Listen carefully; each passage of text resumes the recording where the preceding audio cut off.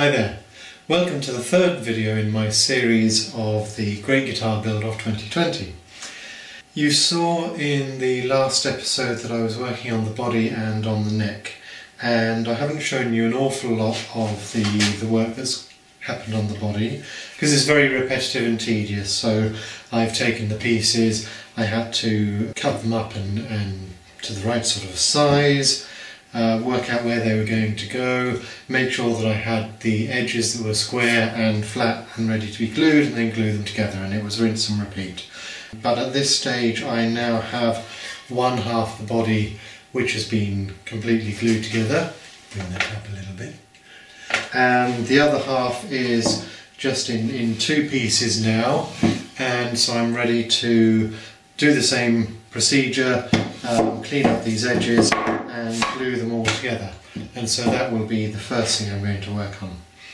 Then I'm coming to the neck and I'm not going to talk yet about the choice of fretboard because this is just the day after I posted the, the last video where I asked you for your preferences in the fretboard and I'm going to leave that for another day or two and then tally up the, the votes and I'll come back to that later in the video. But what we're going to look at today is this neck blank.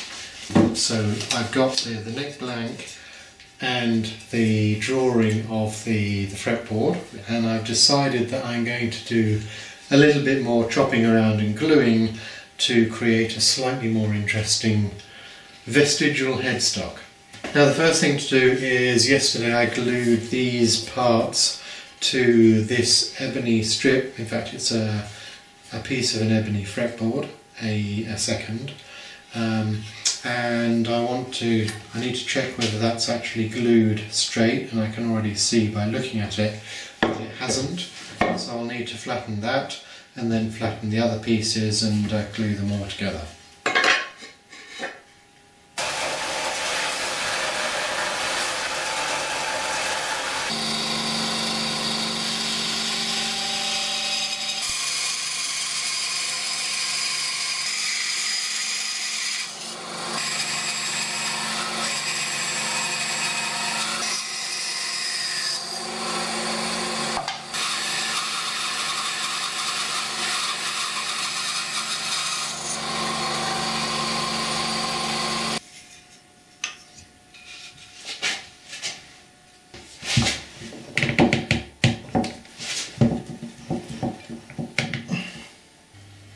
So here's the moment of truth, unclamping the body after the, the final glue job to see whether that worked or if there are big cracks or anything. Um, clamping this up properly was very hard to do and a lot of the jobs have been extremely challenging.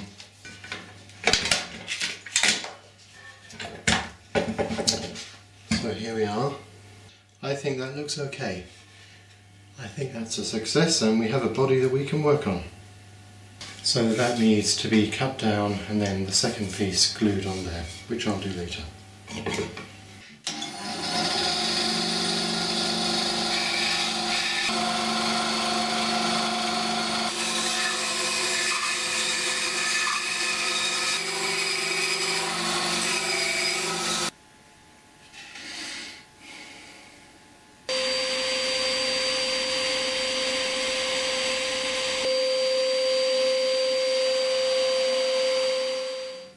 So it's time for a little break from the actual guitar building and I've got a couple of things I want to show you and they're both fretboards.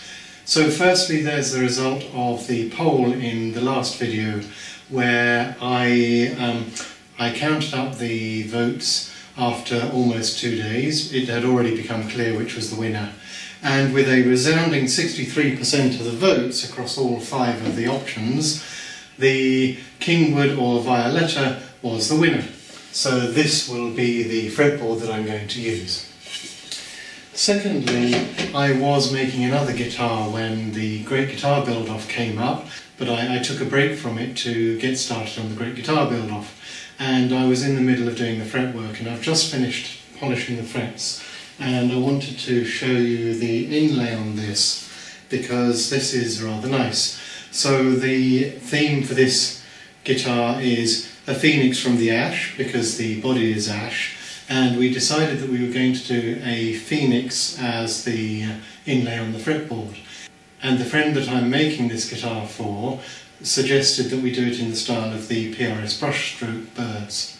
Now, I'm not very artistic when it comes to drawing, but fortunately I have a son who is, and he made a design and I did the inlays, and so here is the Phoenix inlay.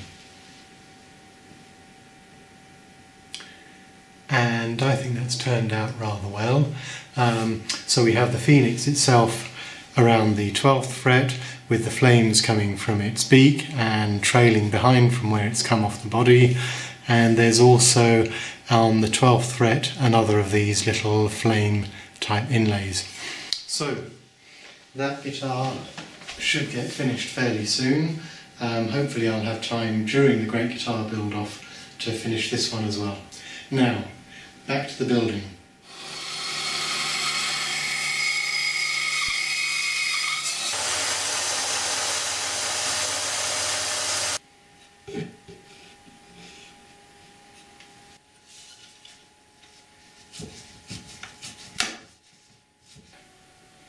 So after working with it on the drum sander and getting it reasonably flat, here's the back of the guitar.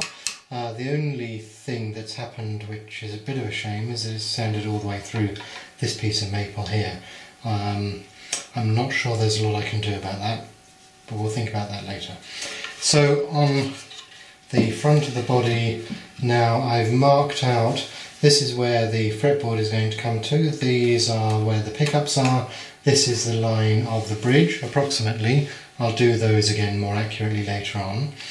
And the, the purpose of that was basically to work out where I want to, or where I can cut out some cavities for weight relief.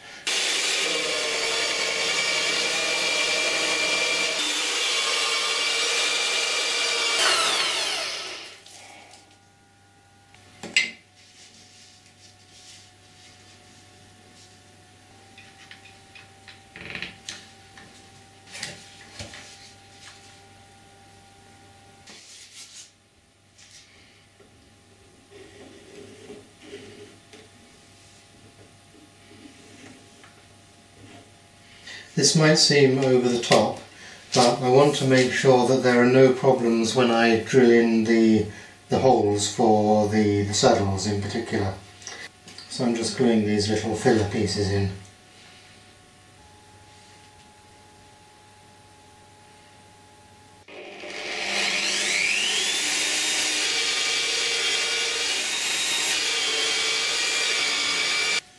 The piece that I clamped up yesterday here is actually intended to be for the control cover. Unfortunately, I've just um, found by comparing it to my template that it's a tiny bit too small, so I'm going to have to think of a way to correct that.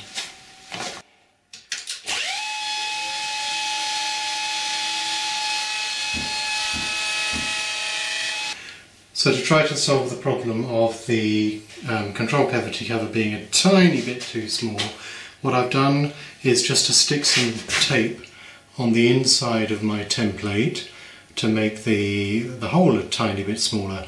So I'm going to route that out and we'll see how it goes. If it doesn't work then I'll have to come up with a different solution.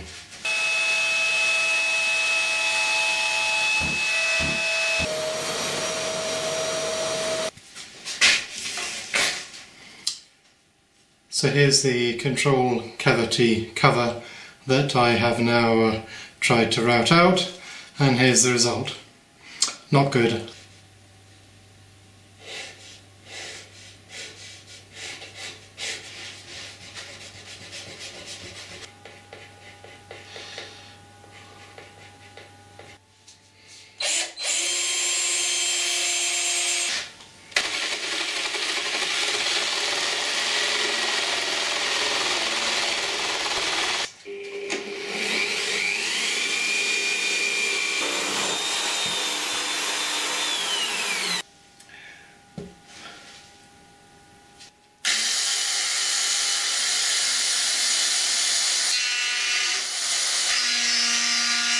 I solved my control cover problem by gluing on an extra piece and then sanding that down to size. It's probably a little bit uh, too tight at the moment, but um, that doesn't look bad. So I was planning to finish this video in a couple of days, but I've decided to draw a line under the third episode here. Um, first of all, the body. So the body, um, you've seen the back, you've seen the, the cover, which is over there somewhere. Um, the front of the body has been cut out pretty much and, and is very nearly ready for the top to be glued on. I just have to flatten it a little bit, um, the middle's a bit high. So there's the body. The top is looking pretty good and I'm fairly happy with that. And finally the neck. So I've been working this week on the headstock as it will be um, and gluing all of these pieces on which had to be done one by one so that was a bit laborious and took several days. Now it's a bit gaudy but there we go, that's in keeping with the rest of the guitar. And I've drawn out a kind of shape, potential shape for the headstock on it. And the next thing to do really is to get my neck template, to cut it to the, the right width, um, make a final decision on the headstock and start cutting that. And then I can start working on the fretboard. So there we go, that's the end of the third episode. I'm going to carry on working on this over the weekend to some extent, although I've got a busy weekend, and I will see you again soon.